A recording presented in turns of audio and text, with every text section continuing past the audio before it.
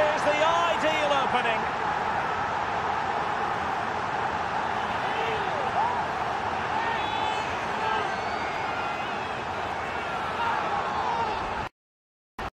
Well, just look at this. It's a good finish and reward for their pressure. They really have controlled this game.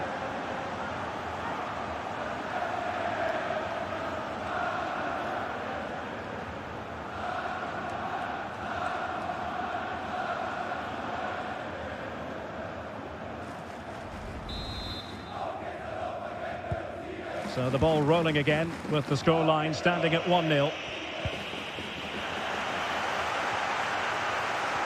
And continues his run. They might be able to get in now. And he's in the clear. In it goes! Two goals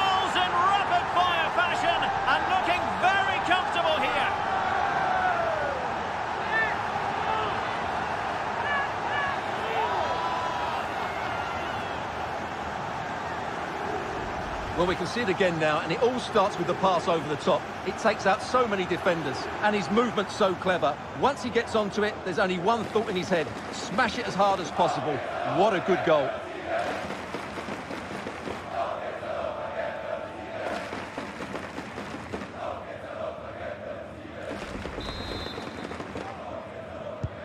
So 2-0 now.